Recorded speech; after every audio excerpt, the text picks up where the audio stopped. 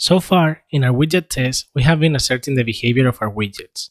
But what if we want to validate the look and feel as well? With widget tests, we can generate a set of pseudo screenshots of our application and use them to compare any deviations from the expected widget. So in case we introduce any changes that modify our desired user interface, we can break our test suite.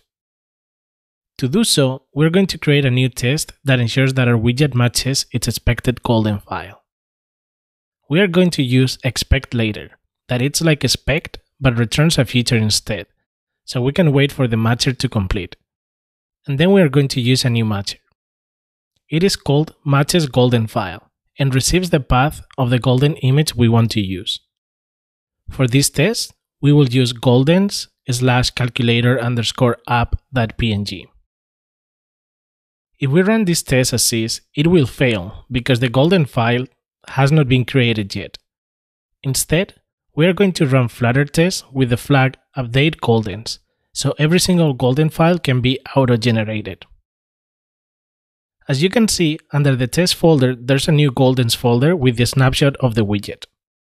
If we run the test again, the existing widget will be compared against the snapshot, and because they are identical, our test will pass without a problem.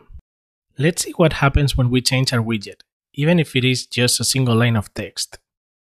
If we run the test again, this time it will fail, indicating that the pixels painted are not the same. Also, if we look inside our test folder, we can see that there's a new failures folder with different images that help us to identify where the changes happen in our user interface.